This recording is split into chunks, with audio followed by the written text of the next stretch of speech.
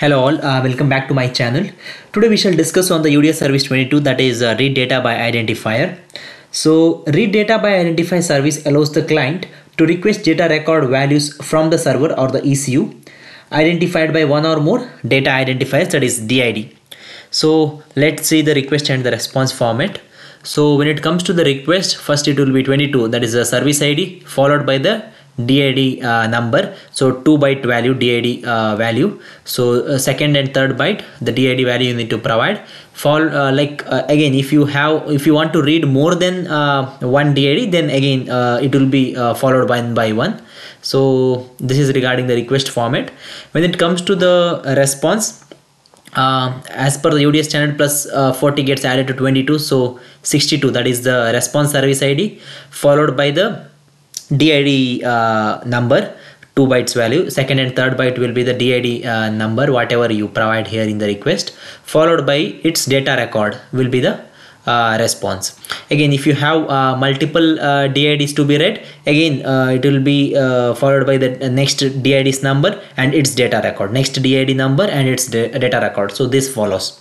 So this was regarding the positive response. When it comes to the negative response it will be 7f negative response id followed by the service id 22 followed by the nrc code 13 22 uh, 33 etc okay so let's take an example of uh, reading a, a single uh, data identifier uh, uh, VIN number for that matter uh, with the did number f109 so the request format would be 22 followed by f109 that is the did number so the response would be uh, 62 followed by F109 that is a DID number followed by the data record. So this is the data record.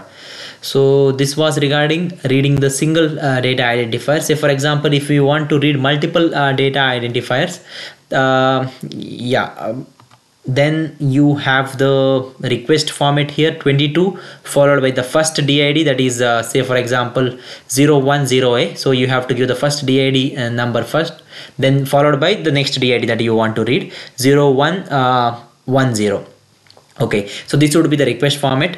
For uh, the uh, for the positive response uh, you get the response something like this that is 62 uh, as per UDS plus 40 gets added to 22 so 62 followed by the first DID number followed by the uh, uh, first DID's data record. Okay this is the first DID's data record you can see here.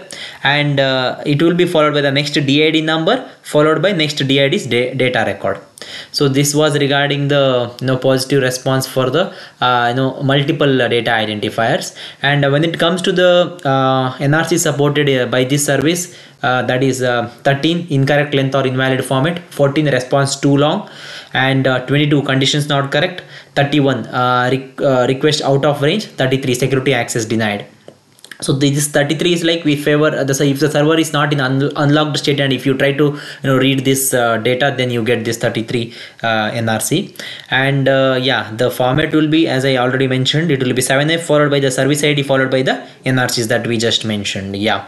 So this was all regarding uh, the uh, service 22 read data by identifier. So thanks for watching the video. If you like this video please give it a thumbs up